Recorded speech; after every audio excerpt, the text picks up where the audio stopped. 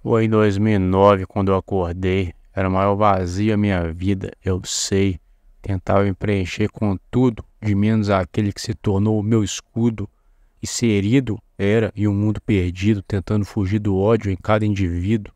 Foi preciso uma visão para eu despertar, acreditar que existe algo além para eu continuar. Ao eterno Criador pertence a misericórdia, ele retribuirá a cada um segundo a sua obra. Me perdoa, Deus, por ter ficado ausente. Agora nunca mais irei ser conivente. Fazer o certo tem um alto preço. Não foi fácil sair de uma vida do avesso. Servir a Deus às vezes custa muito caro, mas é o único preço que deve ser pago. Essa é a escolha que eu escolhi. Vai funcionar com eles como funcionou para mim. Vou divulgar conhecimento, com criatividade, versatilidade e talento. Se passaram mais de 10 anos e descobri que da verdade a massa não está afim. Sarge, desprezado e odiado em 23, na era em que as pessoas se alimentam de estupidez.